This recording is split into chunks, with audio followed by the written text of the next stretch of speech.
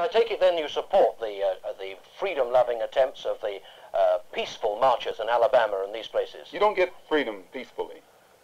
Freedom is never uh, safeguarded peacefully. Anyone who is depriving you of freedom isn't deserving of, an, of a peaceful approach uh, by the ones who are being deprived of their freedom.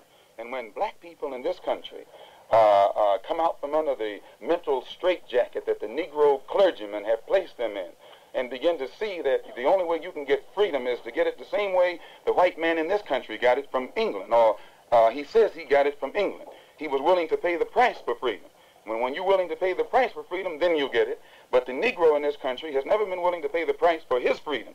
All of the price that we have been that we have been paying in the past has been uh, freedom for the white man. We fought abroad so that the white man in America could be free today to sick police dogs on us, to beat our people in the heads with, with police clubs, and to turn water hose on, on little women and children and babies simply because they want to walk down the street like decent human beings. That's now the only way you can have peace is to eliminate those injustices, and the American white man is not going to eliminate them. He's going to talk that pretty talk, but he'll still continue to practice those inhuman deeds.